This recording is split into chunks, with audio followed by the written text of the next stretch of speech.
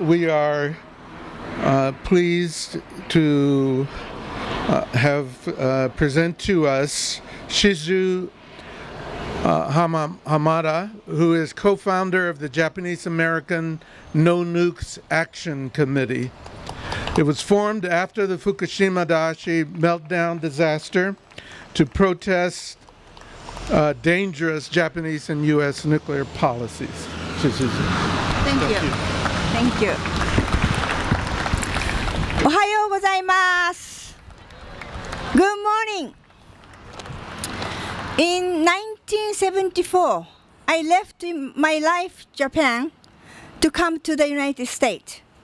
For over 40 years, I've called Bay Area my home. I live in Berkeley. I love it there. This is a place I met my husband, raised the children. This is a place I made many friends and whom are here now in front of me. But as I stand here today in front of Lawrence Livermore Lab, I cannot help but think about the atrocities that took place in Japan 71 years ago and the path that led to nuclear dependent Japan. In August of 1945, the United States uh, dropped the uh, two atomic bombs in Japan. Within six months, over 200,000 people were dead. And to this day, over 600,000 people were, uh, have died.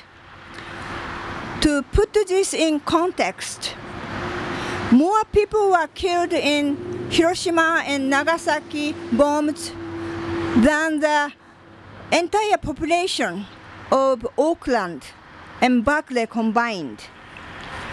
Imagine that for a moment. Everybody you know in Oakland and Berkeley were gone forever.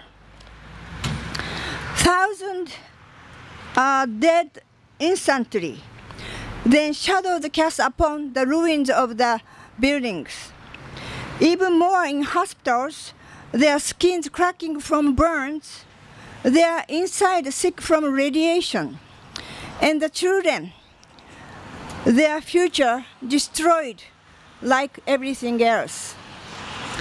Japan knows horror. They experience the destructive effect of nuclear weapons, of isotopes and uranium and plutonium and radioactive material. They, of all countries, should understand its catastrophic of effect. Well, Japan is a ironic country. Instead of learning from history, instead of running away from the horror of the August 1945, they have run towards nuclear power, towards a Japan that is dependent on the abomination. Today, nuclear power plants are littered all over Japan, waiting for to be restarted.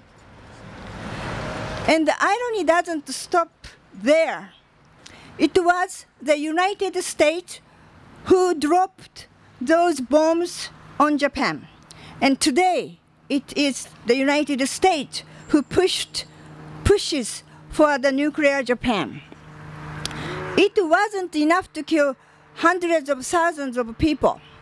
The United States has profited from Japan's nuclear path. And it is Japanese people, once again, who must pay the price. On March 11, 2011, uh, a 9.0 magnitude earthquake and the following tsunami destroyed uh, Fukushima Daiichi plant, and three reactors were melted down. Even five and a half years later, the Japanese people are still paying for this calamity. They finally found the melted core of one of three uh, reactors recently, but still they don't know how to contain or how to retrieve it. nearly 1,000 uh, contaminated waters tanks are filling up the lot of the Daiichi facility lot.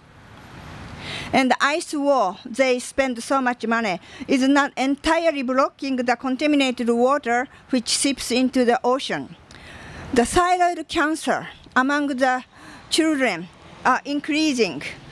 Now over over 170 uh, children having the cancer or suspected to have it. The Japanese government is declaring some areas are safe so that the uh, government forcing the people to go back so that compensations uh, can be cut. But it's very clear that uh, area is not safe and may never be. President Obama visited Hiroshima last May as a tribute uh, to atomic bomb victims, but he didn't offer any apology. He called for a world free of nuclear weapons, but he, but he leads a country that spent to create even more nuclear warheads.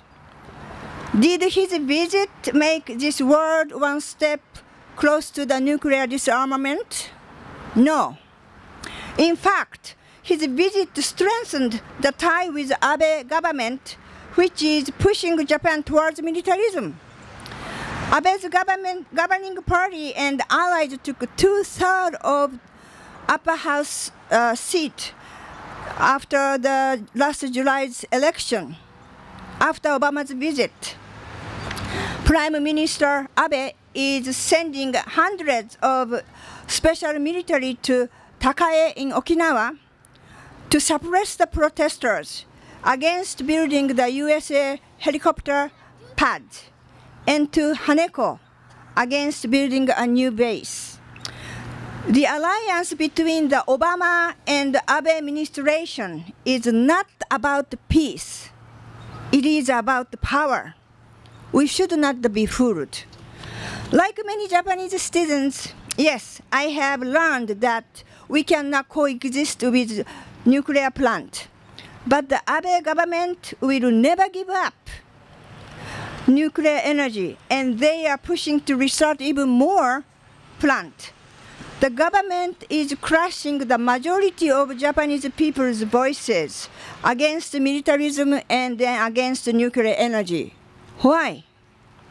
Because our government want Japan to st uh, step forward to a military country like the USA and want to make nuclear weapons in the near future. Japan need to operate a nuclear plant in order to enrich uranium and plutonium. As I stand here today, I can feel the spirit of Hiroshima Nagasaki, the Marshall Island, and Fukushima. They are here with us today, right now. They are watching us and they are encouraging us to fight. What we do here today and in the future matters. The past must be remembered. The catastrophes of history must not be forgotten. On this day, and every day we fight for a world without nuclear weapons and nuclear energy. Thank you.